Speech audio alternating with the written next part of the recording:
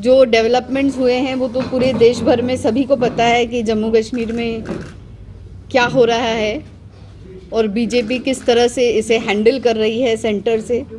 जिस तरह से बेरोज़गारी यहाँ पर बढ़ी है 21.6 परसेंट बेरोज़गारी का दर हुआ है अभी। और अनएम्प्लॉयमेंट की वजह से औरतों को महँगाई का जो सामना झेलना पड़ता है। जिस तरह से एलपीजी गैस सिलेंडर, अच्छे दिन और बहुत सारी चीज़ें। उन्होंने कहा था कि मिलिटेंसी यहाँ पर ख़त्म होगी, लेकिन वो अपने ही चुने हुए नुमाइंदों को वो बचा नहीं पाए। शूट किया गया प्रिंसिपल को टीचर को, और भी सिविलियंस जिस तरह से लगातार शूट किए जा रहे हैं। एसिड अटैक जिस तरह से लड़कियों पर हो रहा है मैं चाहती थी कि वो एसिड अटैक विक्टिम को देखूँ, लेकिन कल रात को मैंने न्यूज़ पढ़ी कि उसे शायद बीजेपी को पता लग गया होगा कि मैं आ रही हूँ यहाँ पर कल। तो इसीलिए उन्होंने फैसला किया कि उस लड़की को ऑपरेशन के लिए चेन्नई लेके जाएँ। तो इसके पहले क्यों नहीं? स्टेटहुड छीन ली गई और स्टेटहुड छीन के इसे यूटी बनाया गया। पर इससे स्थानीय लोगों को क्या बेनिफिट हुआ है? या जम्मू कश्मीर के लोगों को इससे क्या फ़ायदा पहुँचा है?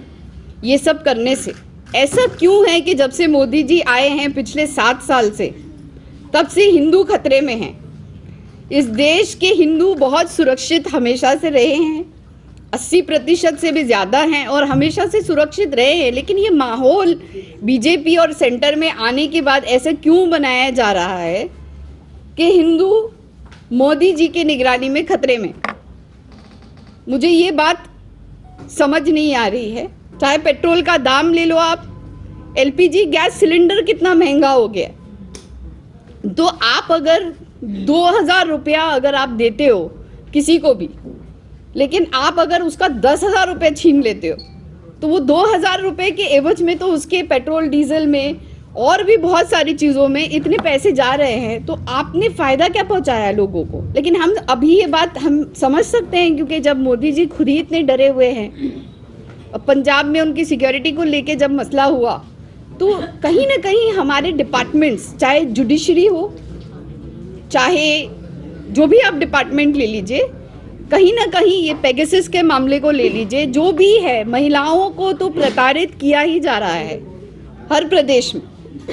तो ये सारी चीज़ें जो एक विभाग, जो गवर्नमेंट के सेंट्रल गवर्नमेंट के अंडर में आता है तो मुझे लगता है ये चंद जो कॉरपोरेट लोग हैं, यही फ़ायदा इनको पहुँच रहा है। बाकी तो गरीब त्रस्त है और उनको डाइवर्शनरी टैक्टिक के तौर पे ये हिंदू मुस्लिम किया जाता है ताकि वो लोग जीते।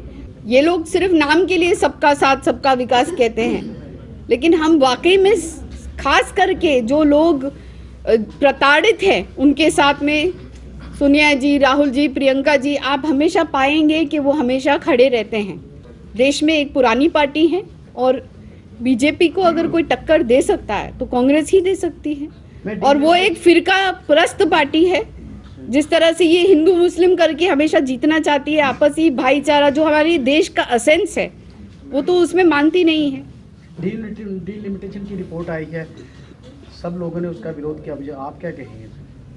नहीं, विरोध तो रिपोर्ट तो अभी भी ट्रांसपेरेंट नहीं है। जिस तरीके से पूरी तरह से आई है, हमारे बड़े नेता अभी भी उसके बारे में क्लियर नहीं है। वो ट्रांसपेरेंटली अभी बाहर निकलेगी और सही से बात समझा जाएगा। लेकिन इन लोगों ने हाँ जम्मू का शायद एक बढ़ाया है और कश्मीर के जे, जम्मू के छः बढ़ाए हैं। छः बढ़ाए हैं और कश्मीर का एक बढ़ाया है।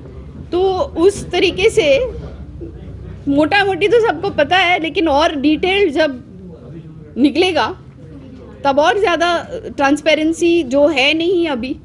और जो माहौल डेमोक्रेसी का बरकरार रखने का होता है, जिस तरह से डेमोक्रेसी बरकरार रहनी चाहिए। गोडसे की जय जय बात करते हैं। गांधी को जिसने मारा, उसकी जय जयकार होती है। हम देश में देख रहे हैं कि किस किस तरह से ये चारों ओर त्राही माम फैली है। कुछ दिन पहले भी हमने देखा था कश्मीर में प्रेस क्लब में। आज क्योंकि हम प्रेस क्लब में बैठे हैं तो प्रेस क्लब की बात भी कर देते हैं कि किस तरह से वहाँ भी इलेक्शंस मैनिपुलेट हुए हैं।